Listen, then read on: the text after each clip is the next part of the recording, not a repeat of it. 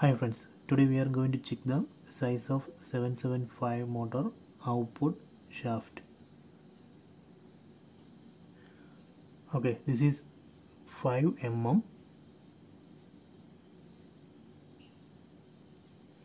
and this length that is 17 mm.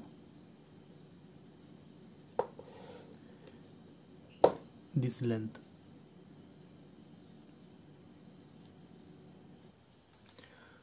so this this we can connect to that 75 775 motor. So let me check measure this. See it shows 5 mm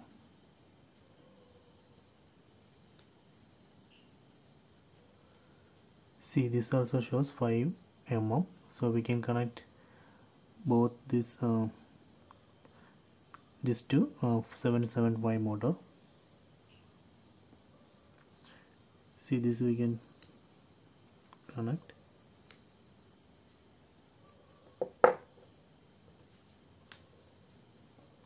See. Okay so i hope you enjoyed this video. Please subscribe my channel. Please like and share the video